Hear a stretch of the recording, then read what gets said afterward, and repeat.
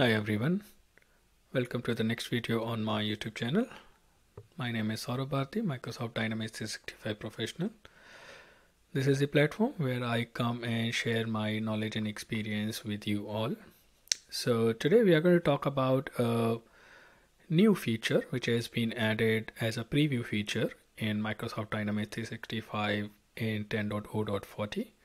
So we are going to talk about that and the feature name is the bank account lifecycle management. So let's start with this and see what is this feature. So this helps users to uh, get the approval on the bank account creation and modification and also allows the tracking historical changes. So just imagine a business scenario. The bank account is a very sensitive information and we are talking about the bank account of our legal entity. We are not talking about the bank account of our vendor and customer. For that we already have for vendor bank account uh, we already have a feature.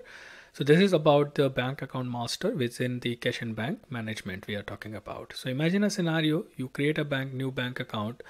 Now is there any control around that? Uh, if someone changes the main account the bank account number or anything uh, do we have any control? So till now it was not there but with this new feature it brings some more control and it helps uh, the organization to manage the changes in these bank accounts or in the creation of the bank account using the workflow approval process. How it works? So first we need to enable the feature. It's in preview still. Uh, so once it is enabled then you have to activate the workflow. Then set up the parameters that how you want to use this uh, workflow do you want the uh, changes only in the creation or the modification? So you specify all those things and then you uh, uh, get the approval or, and also the manage the changes which you have done to this. So now quickly uh, let's go through the demo and see that uh, how this particular feature works in Microsoft Dynamics 365 now I am into my Microsoft Dynamics 365 environment the first thing which I should do it here is that I should uh, uh, go to my uh, uh feature management and then I should uh, enable the feature. So this is my feature management where I have this particular feature which is in preview and I can enable this feature and if I want to read about this I have the Microsoft Learn where it the complete details about what this feature is what it does everything has been given now once that feature is enabled, the next thing which I can do is that I can go to the cash and bank module and under the cash and bank module, under the setup, I have the cash and bank master data change setup enabled for me. Now before I go there, first thing which I should do is that I need to create a workflow. I should have a workflow defined for this. So that's a prerequisite. So I have created a workflow. Uh, it's a simple workflow, a one step workflow which I have created. Once uh, the workflow is submitted, it will come for the approval uh, to me. Now, once this workflow is created, then you can go and define your configuration.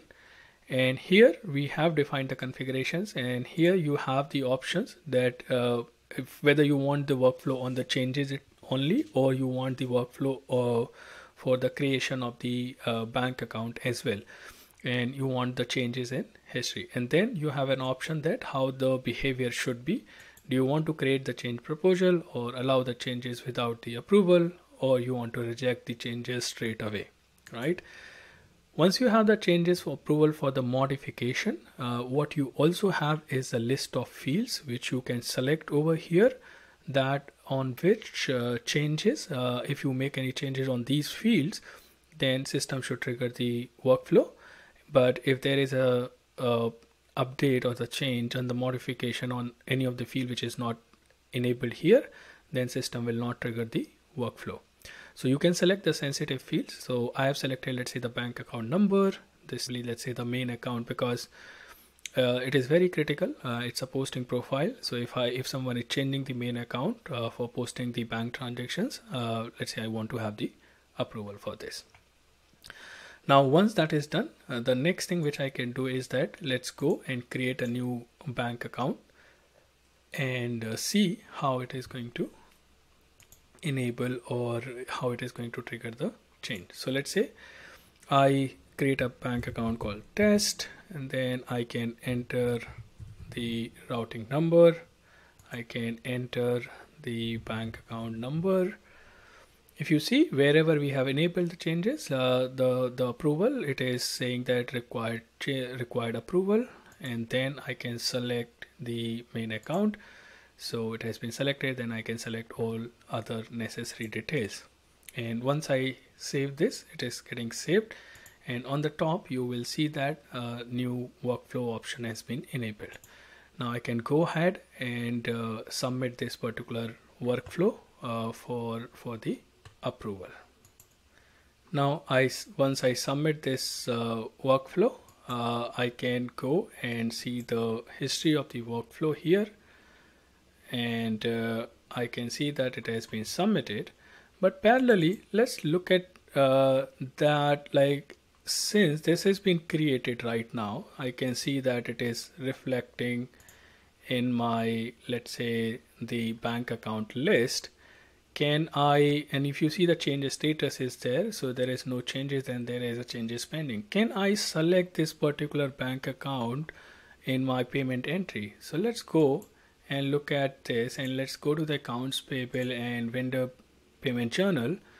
And let's look at this that uh, does it allow me to select this particular bank account? So if you see it doesn't allow me to select this. So it will just allow me once those once those changes has been approved. So without the approval it won't allow me to perform the transaction with the unapproved changes. Now let's look at this. If it has submitted for the workflow so yes it has created should be available for me. So I have the approval here. I can just simply click on the approve and then approve this so once my uh, workflow has been approved I can see that that status has been changes has been approved. And another thing which you can uh, observe here is that uh, on the top you have got uh, a option of tracking your changes. So if you click on these changes you have two options here. So one is around your change proposals so once it when when whenever you are submitting your changes and then uh, it is getting approved uh, or it is in review right? You can look at that what changes uh, has been proposed. And then you have an option of change history. So which if you click on that it gives you the complete history that what changes by when by whom who was the approver. All these things are specified here. So it not only helps you to control your complete bank uh, lifecycle management from the creation to the modification. But it also helps you to track those changes and get that audit trail uh, for your bank account information. Now same thing I have done for the creation. You can do it for the modification as well. So once you will modify it will allow you to submit to the workflow. And then you can submit for the workflow get it approved and track all these changes. So that's it for this video. Hope this is going to help you and this new feature will definitely help our customers where they can manage their bank account information in a more efficient way. And uh, hopefully it will get better and uh, Microsoft will bring more more enhancement around this particular area. Thank you for watching and see you in the next one